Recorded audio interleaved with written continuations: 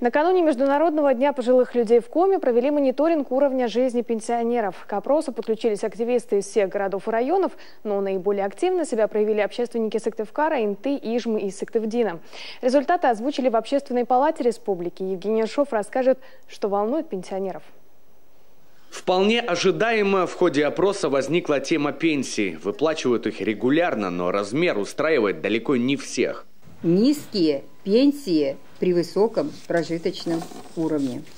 Я полагаю, что сегодня никто из здесь сидящих не будет оспаривать мнение пожилых граждан. Безусловно, это не наша, не республиканская проблема, это федеральный центр.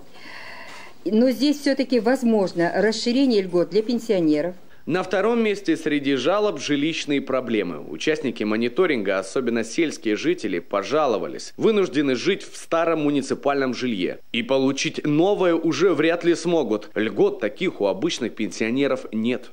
В программу многие дома не вошли. Безусловно, точечные вопросы какие-то решаются, но в целом проблема сегодня пока остается без разрешения.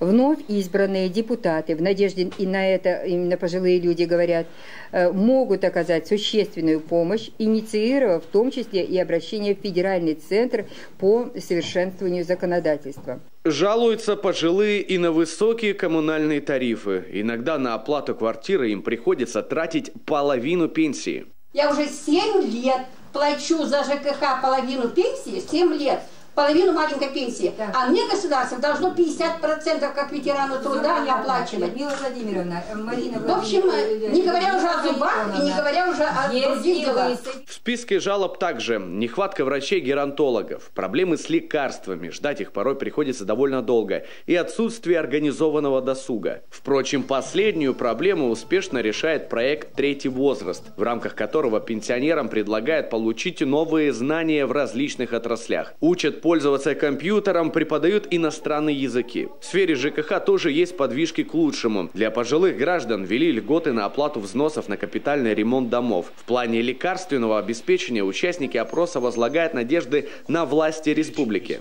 Во время поездок в муниципалитеты глава всегда посещает аптеки, а Министерство здравоохранения всерьез взялось за подготовку фармацевтов. Так что есть надежда, что государственные аптеки закрываться не будут, и у пожилых будет возможность в нужный для для них момент купить необходимые лекарства.